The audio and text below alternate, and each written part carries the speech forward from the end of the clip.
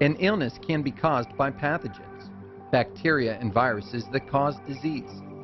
These foreign invaders can enter the body in different ways, such as through an open wound, by inhalation, or through contact with mucous membranes of the eyes, nose, or mouth. If your body becomes infected by a pathogen, the white blood cells circulating in the blood go through a trial and error period to determine the best way to kill the organisms. During this period, the body is sick with symptoms of the illness. When the white blood cells determine how to destroy it, they create memory cells to handle future attacks of that same pathogen. Vaccination is a way to trigger the body's immune response without becoming sick. The vaccine contains weak or dead organisms that usually do not cause illness. The body is able to destroy the pathogen in the vaccine and produce memory cells.